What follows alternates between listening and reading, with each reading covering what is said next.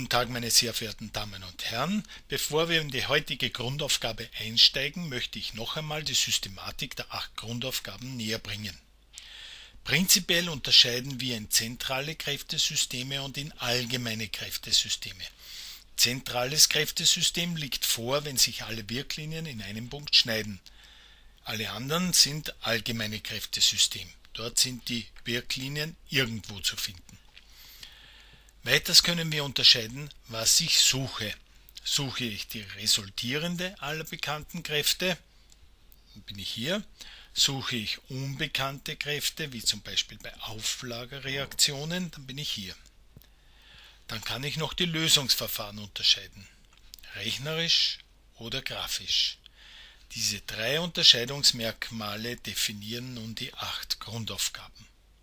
Zum Beispiel die zweite Grundaufgabe wäre die grafische Ermittlung der resultierenden Kraft in einem zentralen Kräftesystem. Weiteres Beispiel, die siebte Grundaufgabe wäre die rechnerische Ermittlung einer unbekannten Kraft im allgemeinen Kräftesystem.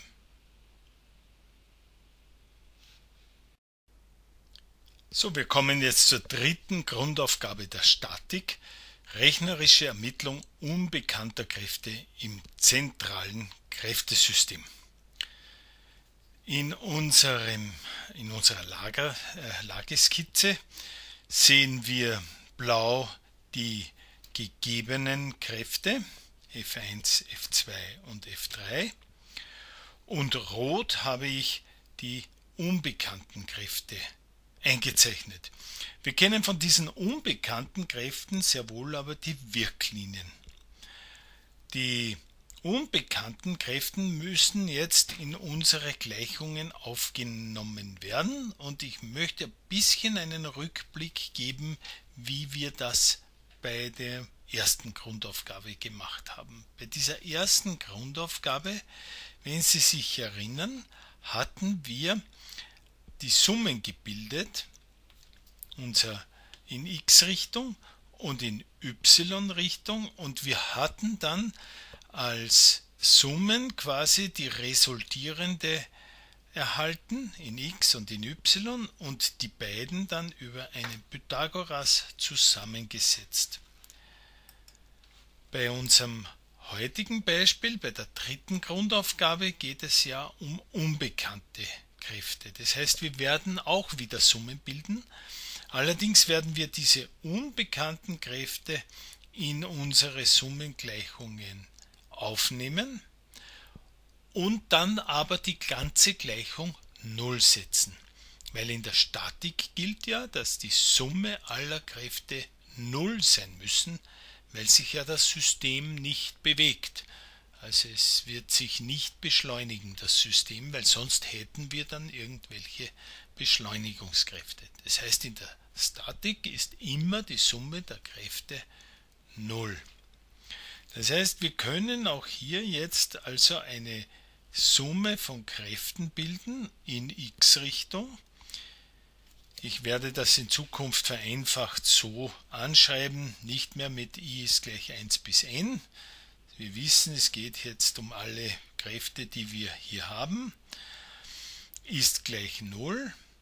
Und jetzt können wir im Sinne des äh, Bezeichnens der Winkel im, im zentralen Kräftesystem, hier bezeichnen wir die Winkel ja immer von der positiven x-Achse aus aufgetragen. Das heißt also auch zur F3 kann ich den Winkel noch einzeichnen, das wäre da der Alpha 3 und dann der Alpha 4, der würde auch hier weggehen, aber eben dann hier herüber bis hier herunter laufen und der Alpha 5, der wäre noch weiter, der würde also ganz rundherum gehen bis hier zur Kraft 5, das wäre jetzt hier der Alpha 4 und der Alpha 5. Also in diesem Sinne, weil wir ja die Winkel hier auftragen, brauchen wir uns über irgendwelche Vorzeichen keine Gedanken machen, wir summieren alles auf, weil die Winkelfunktionen dann die Vorzeichen bestimmen. Also beginnen wir mit der ersten Kraft. Wir äh, werden jetzt quasi immer die x-Komponenten dieser Vektoren, die wir hier aufsummieren, anschreiben. Das heißt, wir haben dann ein f1 mal Cosinus Alpha 1 plus ein f2 mal dem Cosinus von Alpha 2 plus ein f3 mal dem Cosinus Alpha 3 plus f4 mal dem Cosinus Alpha 4 und plus f5 mal dem Cosinus vom Alpha 5. Also eine einfache Aufsummierung aller x-Komponenten unserer Kräfte. Was wir hier schon sehen, ist, dass die äh, F4, hier haben wir einen Winkel von 270 Grad und hier ist der Cosinus 0, das heißt dieser Term wird 0 sein, der fällt heraus und damit wird das Ganze etwas einfacher, weil die, ähm, die F5 jetzt hier die einzige unbekannte Kraft in dieser Gleichung ist. Das heißt, wir können das schon einfach lösen hier. F5 wäre dann nichts anderes als die ganzen anderen Terme, die hier übrig bleiben, dividiert durch den Cosinus von Alpha 5. Also wir geben die hinüber auf die andere Seite, diese Terme. Damit haben wir hier minus f1 mal Cosinus Alpha 1 minus f2 mal Cosinus Alpha 2 und minus f3 mal Cosinus Alpha 3 und dividieren müssen wir durch den Cosinus vom Alpha 5. Hier können wir auch schon einsetzen. Das heißt, wir haben dann, hoppala, da müssen wir in die nächste Zeile gehen, ist gleich mit Werten und Einheiten eingesetzt. Da haben wir dann Minus. Noch einmal die 3, 4 und 2 Kilonewton waren die, also minus 3 Kilonewton, nein, mal dem Cosinus von 45 Grad waren das, glaube ich, ja, 45 Grad, minus das F2 ist 4 Kilonewton, mal dem Cosinus Alpha 2 ist 100 Grad und minus F3 ist 2 Kilonewton mal dem Cosinus von 180 Grad.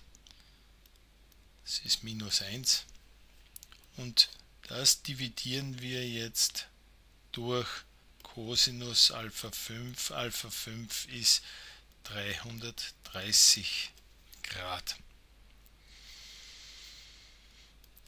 Wenn Sie das nun eintippen und ausrechnen, erhalten Sie 0,662 Kilonewton. Dann kommen wir zur zweiten Gleichung in die y-Richtung. F, Summe aller f in y-Richtung ist 0. Und auch hier gehen Sie wie oben vor. Wir summieren einfach jetzt immer die äh, y-Anteile der Vektoren auf. Das sind also immer die Sinus f1 mal Sinus Alpha 1 plus f2 mal Sinus Alpha 2 plus f3 mal Sinus Alpha 3 plus f4 mal Sinus Alpha 4 und plus f5 mal Sinus Alpha 5. Gleiches Muster und wir haben jetzt nur mehr die f4 als unbekannte Kraft hier drinnen. Das heißt, wir können uns jetzt ausdrücken, f4 ist gleich Das heißt, alles andere wird wieder hinübergeschaufelt auf die andere Seite f, also minus dann f1 mal Sinus Alpha 1 minus f2 mal Sinus Alpha 2 minus f3 mal Sinus Alpha 3 und auch das f5 minus f5 mal Sinus Alpha 5 und dividieren müssen wir durch den Sinus vom Alpha 4. Auch hier müssen wir wieder mit Beträgen und Einheiten einsetzen. Das ist sehr wichtig in der Mechanik, immer dual zu rechnen. Das heißt, wir haben dann eben minus das F1, im Prinzip haben wir es hier auch schon stehen, ist minus 3 Kilonewton mal, und jetzt halt der Sinus vom, von 45 Grad und so weiter, minus 4 Kilonewton mal dem Sinus von 100 Grad. Minus für die F3 2 Kilonewton mal dem Sinus von 180 Grad. Äh, das, das wäre, wäre noch 0, hätten auch nicht gebraucht und minus 0,0, na 0,662 Kilonewton haben wir hier mal dem Sinus von 330 Grad und wir dividieren durch den Sinus von 270 Grad, der ja nichts anderes als minus 1 ist. So, und wenn wir das jetzt eintippen in unseren Taschenrechner, erhalten wir Augenblick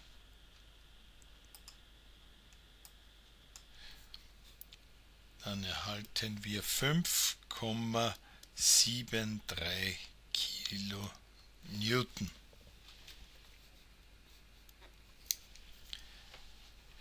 Damit hätten wir auch die äh, Kraft F4.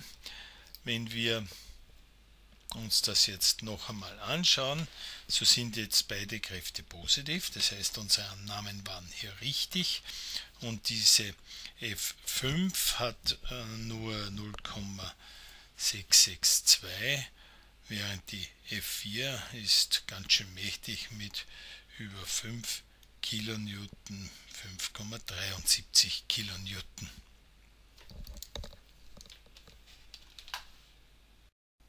Ich bedanke mich für Ihre Aufmerksamkeit.